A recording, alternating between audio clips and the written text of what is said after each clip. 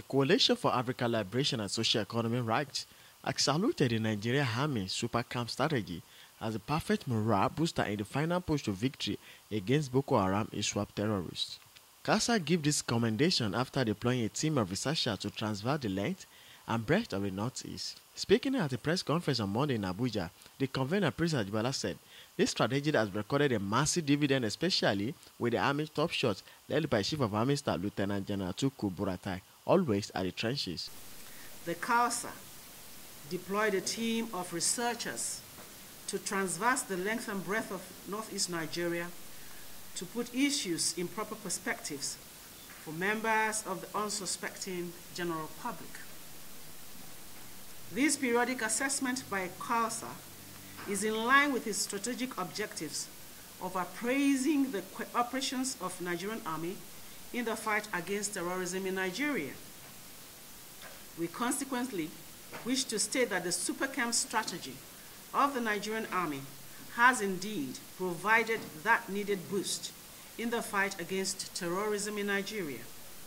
This is cognizant of the fact that in the periods that the Coalition for African Liberation and Social Africa Rights deployed its teams of researchers to the fields, it noticed the presence of some top brass of the Nigerian army in the trenches with the troops.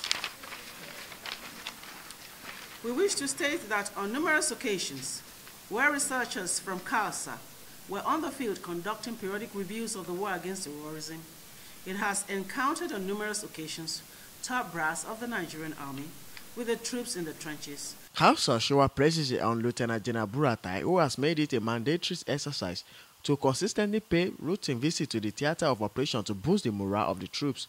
And worthy of mention is the Chief of Army Staff, the Lieutenant General Tukur Buratai. This is quite commendable and an indication that indeed the leadership of the Nigerian Army has matched words with actions in the fight against terrorism in Nigeria. This is also on the heels that the Super Camp strategy of the Nigerian Army has proved to be that avenue with which the Nigerian Army has continued to advance in multiple giant strides in the fight against Boko Haram ISWAP terrorist group in northeast Nigeria. The CALSER appreciates the efforts of the Chief of Army Staff and the entire members of the Nigerian Army in the war against terrorism. It wishes to state that if this tempo is sustained, we might as well, and please note, we might as well be seeing the end of the Boko Haram ISWAP terrorist group in Nigeria. In light of the above, we call on all the African continent and their leaders, African countries and their leaders, to rise against the Boko Haram ISWAP ideology by ensuring that those channels with which the Boko Haram ISWAP spreads its ideology are identified and curtailed in the overall interest of the African continent.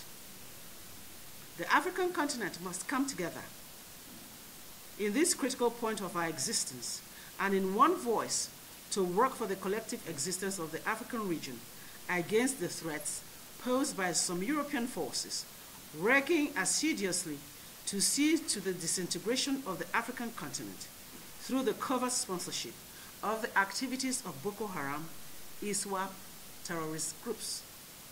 The Coalition for African Liberation and Social Economic Rights, however, frown at selfish individuals against the super camps whose mission is to undermine the giant stride recorded. Atonda Abim, Newsline TV, Abuja.